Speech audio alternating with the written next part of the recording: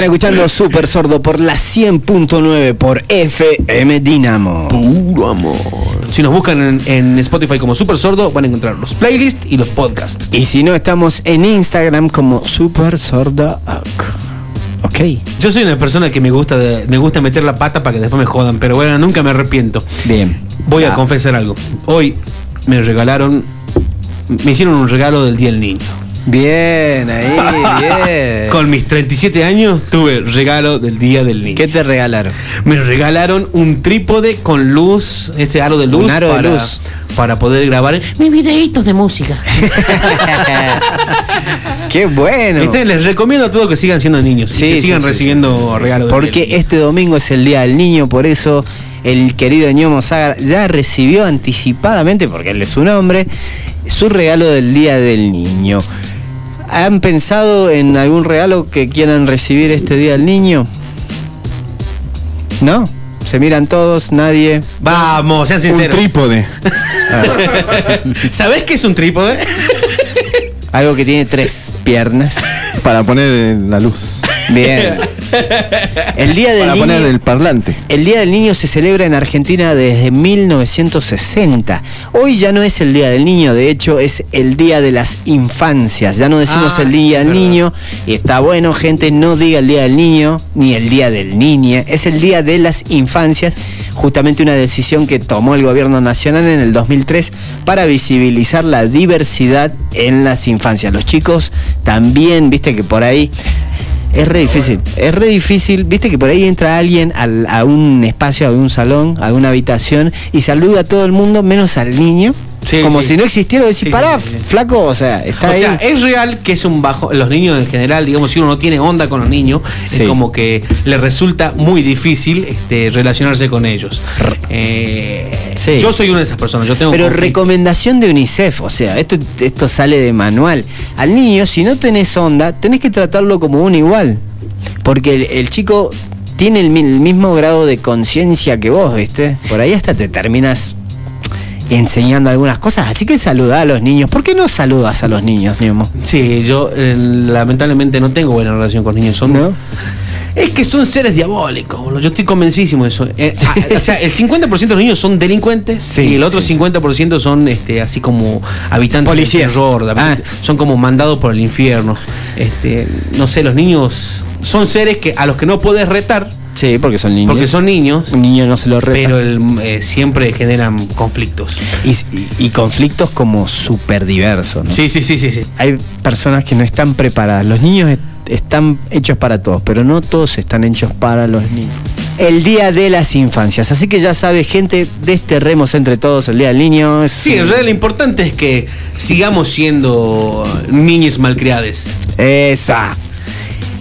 Otra de las noticias que esta semana estuvo dando vueltas y de la cual tenemos que hablar porque seguramente va a cambiar nuestra realidad, va a cambiar tu realidad, Facu, dentro de poco, es que Elon Musk, ¿lo tienen? ¿Quién? Este Elon Musk. El, Elon eh, Musk. el millonario. el millonario excéntrico personaje que ha superado eh, El tipo es un genio.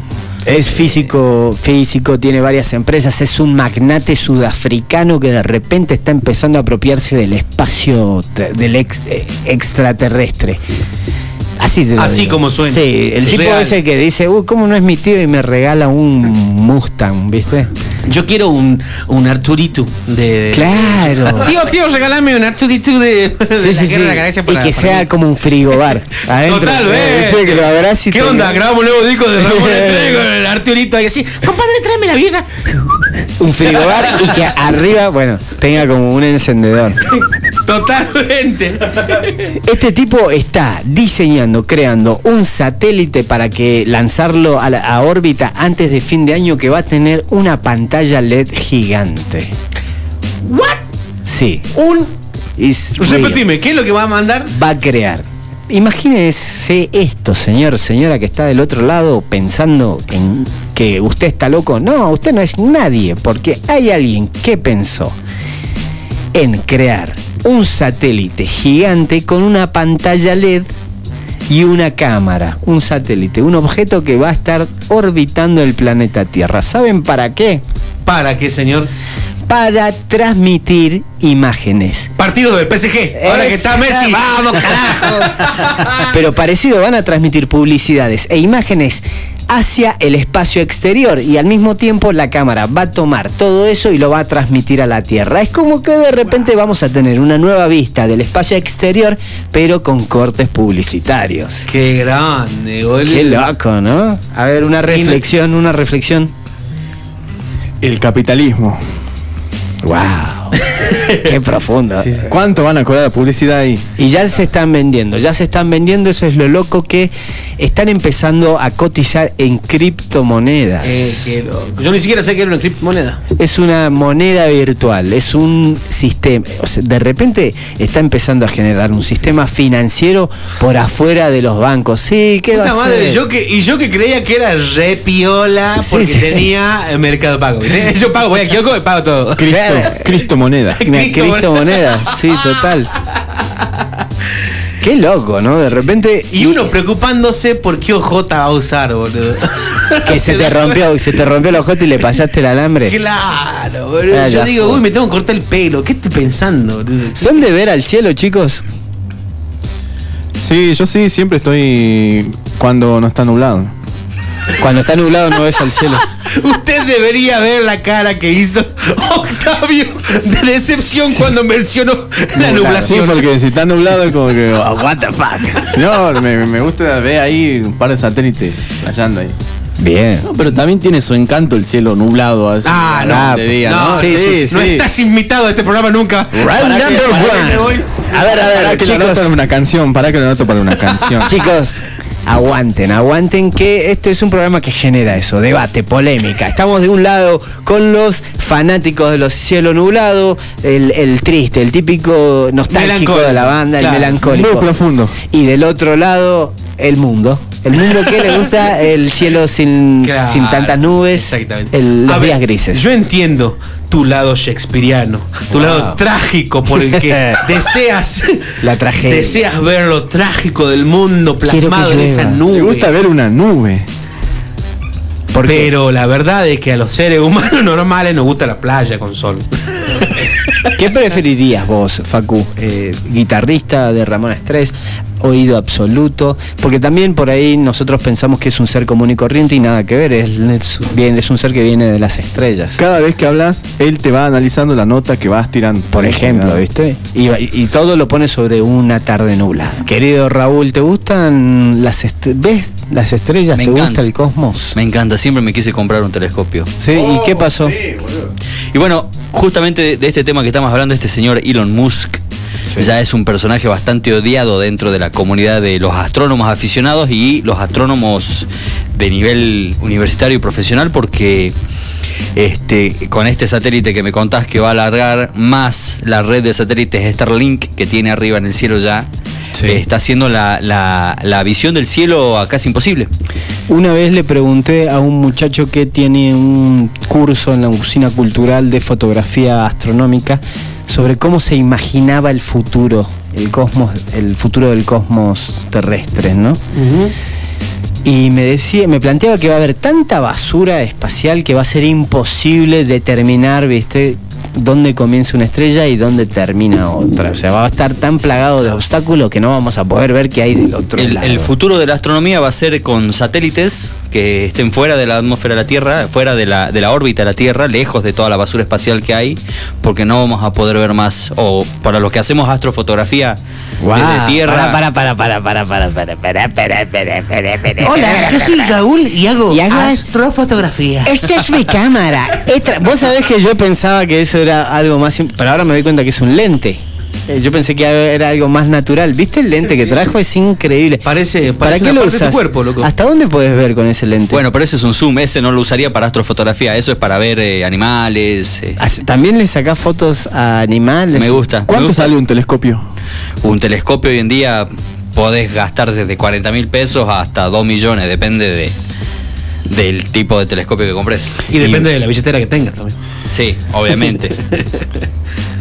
Un satélite con publicidad, gente, hasta antes del 2022 seguramente lo van a lanzar y también hace una semana el mismo tipo a través de su cuenta de Twitter mostró el cohete con el que plantea llevar a la humanidad a Marte. ¿Qué me decís? Interesante. Falta que haga un satélite que tape el sol como el señor Burns y nos cobre. ¿Vos decís que tiene esas cada vez- intenciones? Cada vez, que lo escucho a ustedes hablando así sobre estas cosas, yo me cago de miedo. boludo. ¿Por qué? Porque me siento un tipo insulso en este mundo y Es digo, que no somos nada, tipo- Nomo. No somos nada. Y yo que quería hacer música. Habla por vos. Yo me imagino, ¿no? Me pongo en el lugar de ustedes que vienen del, del under, del, del rock, de la vieja escuela, Ay, donde che. no existía, Pará, no pará, existían pará. las redes sociales. ¿Vos de dónde venís? No existía. Yo, por suerte, cuando yo eh, me puse a ver el tema del rock salteño, ya existía el Facebook. Ok. Pero me imagino, digamos, un ambiente en donde no existen las redes sociales y hoy en día se ponen a pensar que, que ya están conquistando el, el espacio exterior y es como un Como que se fue toda la mierda, ¿no? En menos de Ustedes- 50 ustedes, años. eh, yo creo que están viviendo el, el avance tecnológico que, que desde antes se- se solía ver, que donde que en las películas decían que iban a haber autos voladores, Sí, todas sí, esas sí, sí, cuestiones. Supersónicos. Yo creo que deberías evaluar cambiar de carrera, ¿no? Igual, acaba de decir algo que fue muy doloroso para mí, así. ¿Cómo qué? O sea, acaba de decir, ustedes que son más viejos que Facebook. No, no, o sea, yo, me siento, yo me durísimo siento eso. viejo, yo me siento viejo porque yo cuando, bueno, no cuando sos viejo, güey. en la secundaria recién todos estábamos entrando en Facebook, no existía el WhatsApp. No Claro. existía WhatsApp, por ejemplo, entre otras Todo cosas. era mensaje de texto, 3.000 mensajes de texto por tres días, 5.000 mensajes de texto por una semana, y eran todos mandando mensajes de texto a cada rato, pum, pum, pum, pum, pum, cadenas, No- cadenas, cadenas, cadenas. Ni cadenas. te imaginás cuando descubrimos que existía algo que se llamaba mensaje de texto. Imagínate, vos Claro. te querés sentir viejo, Nomo. ¿Ustedes saben lo que era el Metroflog? Bueno, yo estaba ahí en esa época también, tenía. Pero 11 llegaste años. arañando los bordes del final del Claro, no Metroflog. Igualmente el Metroflog y el Fotoloco dura- duró lo que un pedo en la mano, porque que fueron 3, 4 años que hizo un boom y nos vemos. Pero, no sé si ustedes se acuerdan del ICQ, de... Claro, Uh, el Latin Chat. el ICQ No, no hasta llegué a ahí tener. no, no, no conozco, no. Ah, no. ICQ, ¿no conocés ICQ? Esos chat, esos chat abiertos, viste que encontrabas a cualquiera ahí. El chat. Pero incluso... Hasta el Messenger nomás, sí. El zumbido. A ver, para, para hablar con un Sí. amigo necesitabas un código de como 12 números Claro, claro, claro. y tenías que llevar una agenda en papel porque no había Pero incluso yo me acuerdo este, en la época en la que el facha se tocaba en Calma Niño. Se tocaba en Calma Niño. Él fue el primer, la primera persona que yo vi con celular de los modernos. Era un Nokia 1100. Fue el primero que porque antes de ese era el ladrillo, ¿viste? Ese Nokia. La- el StarTac. y, Este con la antenita. Claro, que todo el mundo decía, no te acerques a la antenita ni la chupé porque te, te, te va a morir de radiación. Te da ¿Por qué? cáncer. ¿Y por qué habrías de chupar la Vos, antenita? vos, vos porque sos niño, pero ¿sabes qué? Yo tenía uno de esos te- eh, teléfonos y generaba adicciones como morder la parte de atrás de la lapicera, boludo. Era inevitable, vos tenías el celular y te vas. Es un complejo oral. Como una gomilla, como una gomita. Sí, no sé, pero bueno, eh, todas esas tecnologías. De todo esto, Elon Musk también fue parte, o sea, Claro. no es que era un tipo, viste, que de repente se le ocurrió crear un satélite publicitario. Hay una pequeña diferencia. Mientras el gnomo mordía la lapicera, Elon Musk estaba haciendo cálculos matemáticos avanzados. Sí, Sí, y está donde está ahora y bueno. Él Jugaba a la Vic. Supongo que jugaba a la Vic ahí. Elon Musk. Era todo la Vic ahí. plum. ¿Sabés los tajos que me dicen el dedo chiquito jugando a la Big, boludo? Ah, Sí, sí, sí, sí. ¿Y transmitirían sus, sus producciones al espacio en- a través de este satélite de Elon Musk? No, nuestro presupuesto ya no creo que llegue hasta ahí.